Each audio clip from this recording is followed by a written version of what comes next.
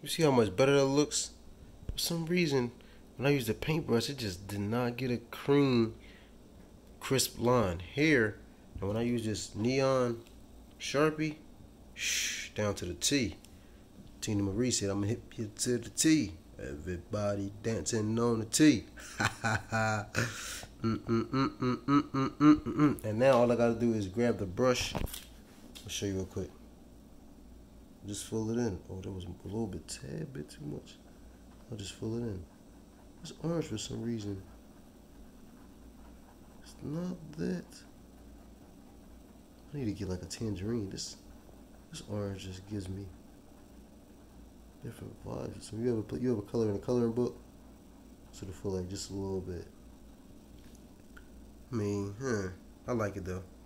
I just wish it was a. I'm just see how. I guess I'll see how it turns out once it dries. You see the difference, right?